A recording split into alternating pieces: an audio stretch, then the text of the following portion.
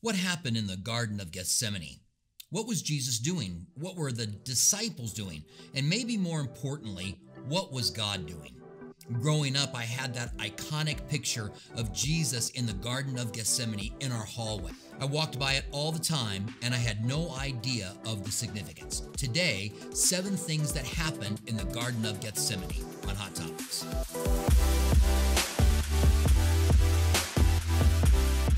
This is Robert Furrow, and welcome to Calvary Tucson and Hot Topics. We look at biblical questions and your questions through the lens of Scripture. The comment section is open below. We would love to hear from you. And don't forget to subscribe and ring the bell if you're new here. Jesus took the disciples to the Garden of Gethsemane.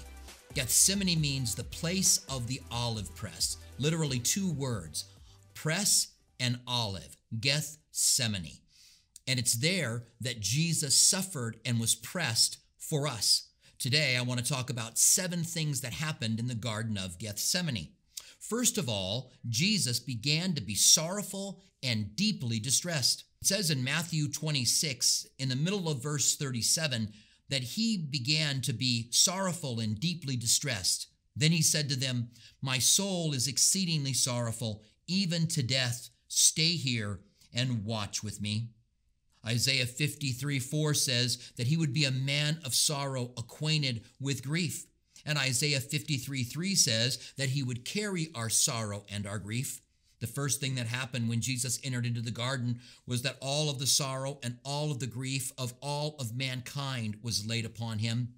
And he became so sorrowful in his own words that he was sorrowful unto death. I don't believe that Jesus took away our grief and our sorrow so that when we're facing grief and sorrow, we don't have it. But I believe that he was carrying it with us so that the weight of that sorrow and that grief doesn't crush us. The second thing that happened in the Garden of Gethsemane was that Jesus prayed there. Often in his ministry, he had a place to go that was distinct by himself to meet with God. And he prayed, he interacted with him. We know that what he was going through, he poured out before God with a lot of passion.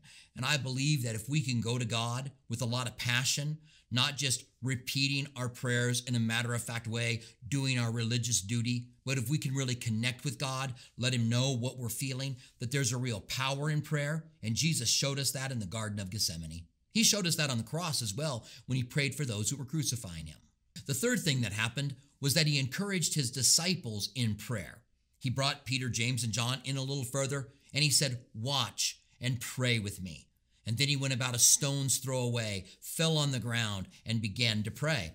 When he came back from that first prayer, he found his disciples asleep. I'm not pointing my finger at them or judging them because I think we've all struggled in prayer at some time. They had had a long night. It was a sorrowful night for them. Jesus is sorrowful, and they drift off to sleep. But when Jesus comes back, he says to them, Couldn't you watch and pray with me even for an hour? He wasn't asking them to pray for an incredibly long amount of time, but even for an hour. And then he said, Pray, lest you fall into temptation, which helps us to understand that if we are prayed up, as we say, that we can face temptation and win rather than giving into it. And then he said, The spirit is willing, but the flesh is weak. And how often that's true with us, where we want to do what God wants us to do, but our flesh is weak and we don't end up doing those things. The fourth thing that happened in the garden is that Jesus was betrayed. It was there in the garden that Judas Iscariot brought a detachment of men. If it was a complete Roman detachment, that would be 600 men. Seems like an awful lot of men to go and catch a rabbi that has been causing the religious leaders some difficulty. But Judas comes up to him and betrays him with a kiss. And Jesus says, Friend, why have you come? And you betray me with a kiss? The Bible tells us that Judas said, Teacher or Rabbi. What a hard thing it must have been for him to be betrayed by a friend. But the scriptures had foretold that, and it happened just the way the Bible says. The fifth thing that happens is that Jesus is arrested in the garden. After Judas kisses him and reveals who he is, the soldiers walk up to him and the Bible tells us in the book of John that Jesus says, Who are you looking for? And they say, Jesus of Nazareth. And he says in the Greek, I am. If you look in your English Bibles, the he is in italics. That means they put it in there to help it make sense. Literally, he said, I am. When he said that, the arresting party fell down on the ground. And then, scrambling back to their feet, Jesus said to them again, Who are you looking for? And they said, Jesus of Nazareth. And he said, I told you that I am. I believe at that point when they were arresting him, Jesus was showing his power that he didn't have to be arrested. Everything was under his control. He was not going to the cross because of anybody else, but he was going to go to the cross under his own power. He would say later on, No one takes my life from me, but I lay it down. They then arrested him and took him off to the courtyard where the high priest was. The sixth thing that happens is that Jesus reveals that he doesn't have to be arrested. When they are beginning to tie the hands of Jesus, Peter pulls out a sword and cuts off the ear of the servant of the high priest. The Bible tells us his name was Malchus. We assume he was going for his head, but he was a fisherman and not a soldier, and he got his ear. And the last miracle that Jesus does is to heal the man that Peter hurt with his sword. That's an interesting thought.